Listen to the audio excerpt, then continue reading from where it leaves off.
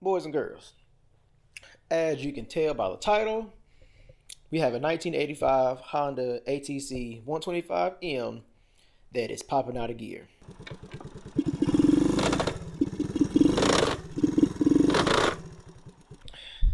Three things that I think we're going to need today that's going to be helpful. The first thing is going to be the manual impact screwdriver to, I believe, to remove the clutch basket or the centrifugal clutch. This is going to be the clutch removal specialty tool, and I have the link in the description. What should be the corporate of my issue, the detent lever. So the bunch of these, they bend from cracking or they break.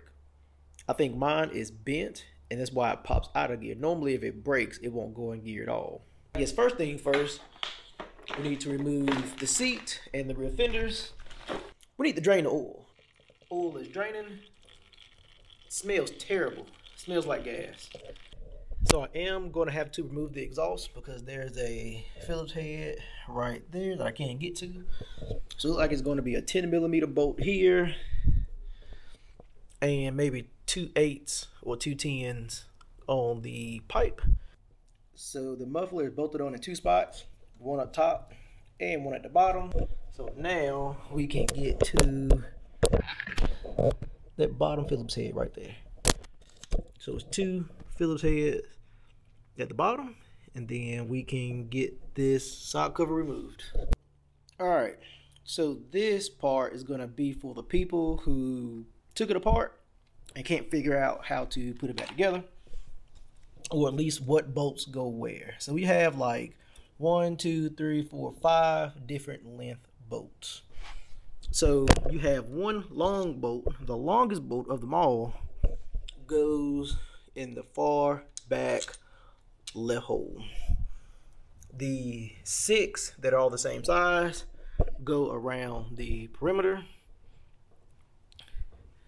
This long bolt, the longer hex head bolt, goes on the bottom under this bracket. This bracket goes like so, I guess to support the starter. The long bolt goes in the bottom of that. And then the hex head short bolt goes up top. And then these two shorter ones are the ones that go in the starter itself. So this will probably be my reference on which bolts go where upon reinstallation. Uh, but I'm sure somebody else might be watching this wondering where their bolts go as well. So now with everything off, and I did remove the um, the foot to get to those bolts. I don't know if I said that or not. It should be time to try to remove this cover. Let's get this thing a couple of taps. I don't have a rubber mallet, so hammer it is.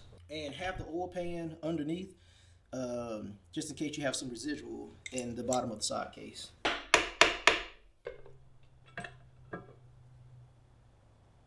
Everything looks clean in here. So now it's time to disassemble the centrifugal clutch so we can remove it. Uh, first thing we're going to do is remove the inside Phillips screws. So we're going to use our manual impact to get the screws loose.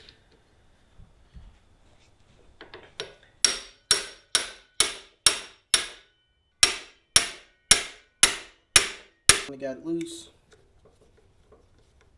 Alright, so now that the screws are removed, let's get the outer clutch cover removed.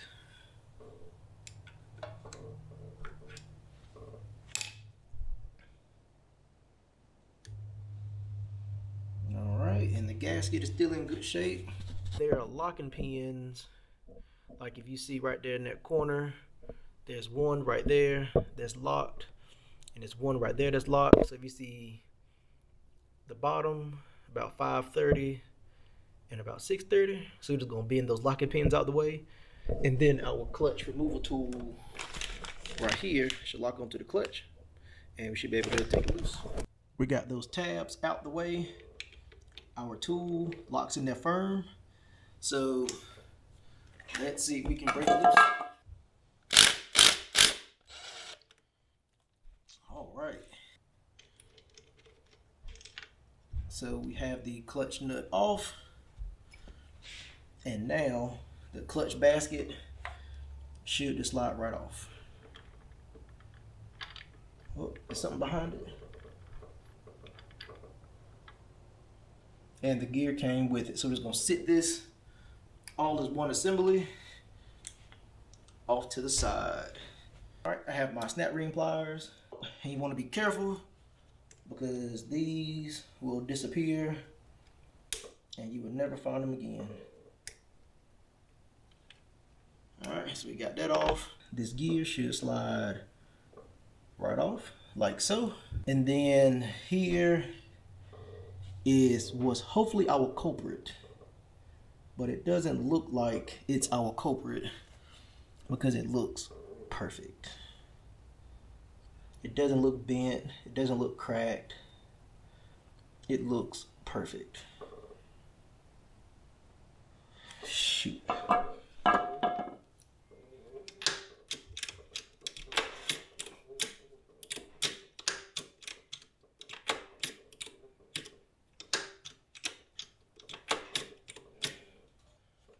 Let's go ahead and get it out and put the new one that we ordered in since I can't return it anyway. And maybe we'll see what the issue is. I don't know, but why not?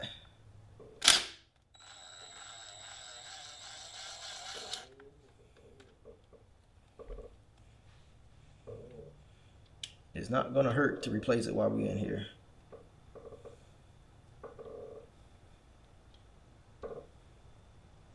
So we have the new one and the old one and they look exactly the same.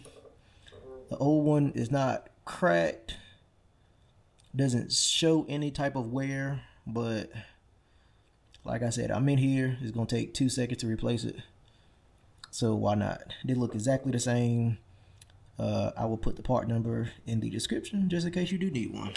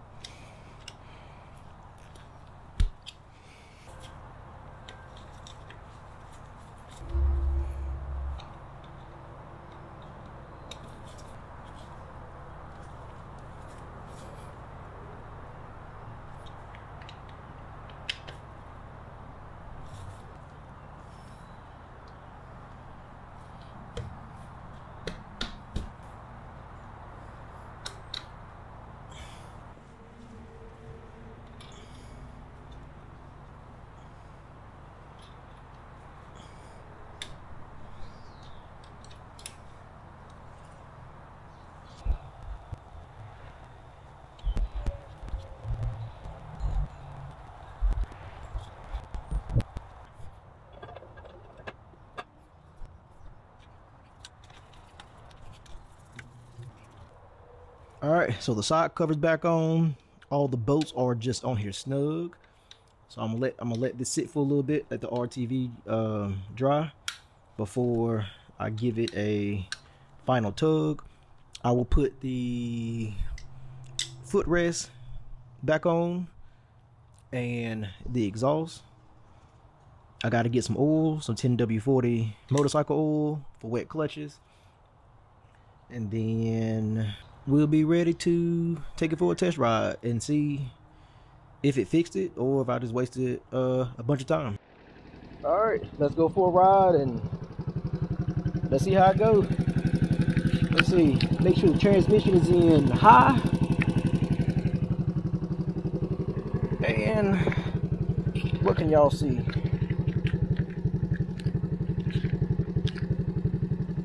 And let's go for a ride. Can y'all see?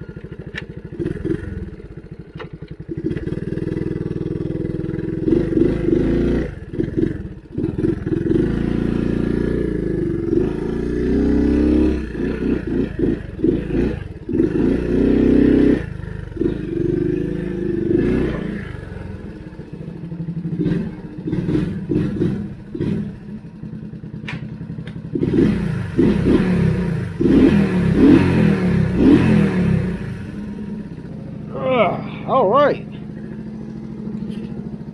She is running good. Goes through all the gears good. It didn't pop out of gear in it. I'm to say that that's a win. Runs good. Not popping out of gear.